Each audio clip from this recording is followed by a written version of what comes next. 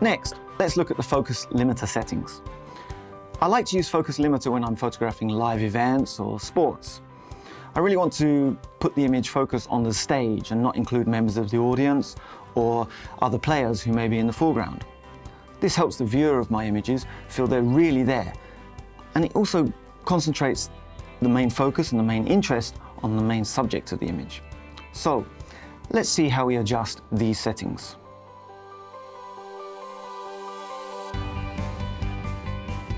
As when we adjusted the autofocus speed settings, we click on Customization and then on Customization Mode Settings. From here we can select C1 or C2. Let's go with C2 this time. Next, we click on Focus Limiter Settings. On the settings screen, use the two sliders to set the range of the autofocus drive. The autofocus drive range is highlighted in orange. For example, in this case, I'm going to set the minimum focus distance to 10 meters with the left slider and the maximum photo distance to 30 meters with the right. Making this setting limits autofocus drive to between 10 and 30 meters.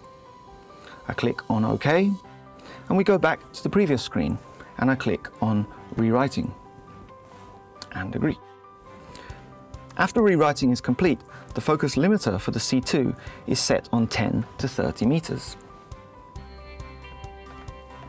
As you can see, it's quite easy to adjust the focus limiter settings as well.